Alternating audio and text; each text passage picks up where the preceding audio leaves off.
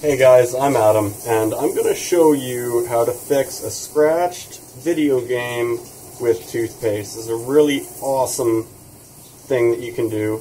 Using household toothpaste, you want the abrasive kind because we're actually going to use that grit and polish away from the center of the disc.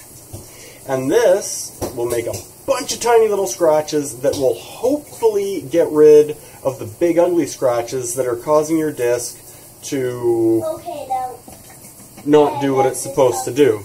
And if this works, once my young lad's done his shower, we're going to play some Lego Star Wars. So all you have to do is throw a little bit of toothpaste on a rag or directly onto the surface of the disc and rub ever so gently away from the center.